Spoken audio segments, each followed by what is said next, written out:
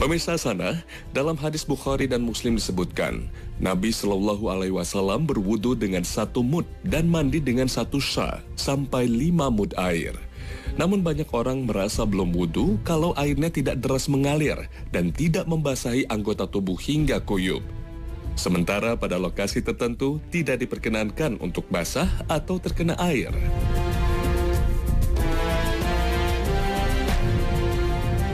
Dan mereka mungkin Zat eh, takut kalau berwudu di kereta, di bis, angkutan umum ya Zat ya. Nah, takut becek, Wah, becek airnya ke mana-mana. Nah itu yang harus dihindari. Ah. Tekniknya pertama gini, kalau masih bisa kita lakukan di dalam toilet, itu kan ada apa namanya di pesawat ya, Hmm. ada apa namanya, ada, Ada wastafelnya. keran, Ah. Itu airnya jatuh ke situ, Hmm. it's okay kan? Hmm. Mohon maaf ya, kita buang air pun juga bisa kan, Hmm. bahkan ceboknya pun juga bisa pakai air. air. Kalau pak Hmm. ceboknya aja pakai air bisa, Hmm. kenapa wudhu nggak bisa Hmm. gitu kan?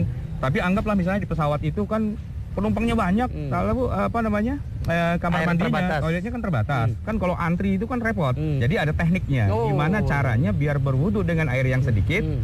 Tapi tidak bikin becek ke mana-mana, tidak bikin netes ke mana-mana. Bayangkan satu pesawat orang pakai botol semua, Hmm. itu banjir. Pesawatnya jalan netes-netes airnya. Nah itu nggak bisa kan gitu Iya, ya. iya, iya. Harus ada tekniknya. Nah saya mencoba coba ya jajal kalau pakai botol langsung kita tuang itu pasti ke mana-mana Hmm. gitu kan maka untuk itu kita coba gelar semacam kayak handuk sapu tangan tisu dan sebagainya biar nggak ke mana-mana atau yang paling bagus lagi adalah pakai botol yang bisa disemprot Hmm. kita sebutnya dengan sprayer Hmm. nah botol seperti itu ya itu lebih aman karena bisa kita minimalisir eh, cipratannya dari mana-mana Allah. dan bisa kita kantongin di kantong dan sebagainya walaupun jumlahnya sedikit tapi dia air tahirun mutahirun bisa untuk digunakan untuk eh, berwudhu lah ya Subhanallah Zat. Jadi Ya. air yang cuma satu mud ya yang seperti ukuran botol Ya. air mineral yang kita Ya. minum itu Hmm. bisa dipakai untuk berwudu. Hmm. Nah, jadi tinggal kita semprot-semprot aja. Hmm. Itu dengan air juga Oh, dan tetap Allah. al-ghuslunya dapat. Kan Oh. perintah wudhu itu apa?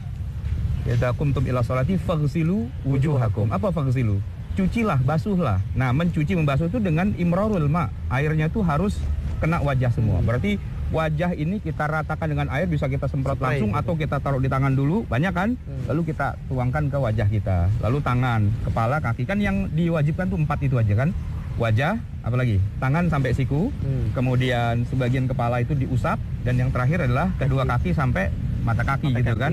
Asalkan empat itu sudah kena, Hmm. sah sudah hukumnya. Oh, Oke kan? Allah. Tapi intinya adalah bahwa Allah Subhanahu wa taala tuh hanya mau disembah dengan tata cara yang dia atur Hmm. gitu. Boleh tayamum tapi dengan syarat ada mewujudil ma ketika tidak ada air. Ketika air masih ada, nah itu masih bisa. Dan harus tetap. Walaupun airnya sedikit, air sedikit itu tidak jadi masalah. Hmm. Yang jadi masalah kan begini, air bekas gitu saja. bekas berwudu. Ah. Nah, bekas wudu itu ditampung buat wudu lagi, itu yang nggak boleh. Hmm. Tapi kalau air yang belum dipakai buat ber apa namanya bertoharo, Berwudu, berwudu dan sebagainya, Itu bisa. walaupun sedikit tetap bisa. Bisa. Karena Rasulullah tuh cuma segini. Satu mud saja Satu mud, segini ini ya kan Allah. dua tangan ditautkan diisi dengan air. Seginilah wudunya Rasulullah. Allahu Akbar.